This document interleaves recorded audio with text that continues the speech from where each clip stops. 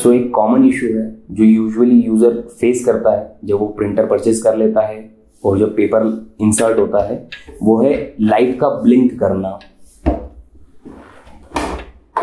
तो ऐसा होता है कि रेड लाइट ब्लिंक करने लगती है तो जब रेड लाइट ब्लिंक करती है तो इसका बहुत ही इजी सॉल्यूशन है कि जो आपने पेपर लगाया है उसे आप सही तरीके से लगाएँ क्योंकि अगर आप पेपर गलत लगाएँगे तो ये रेड लाइट ब्लिंक करेगी। जैसे ही आप पेपर को सही लगाएँगे तो रेड लाइट ब्लिंक करना बंद कर देगी।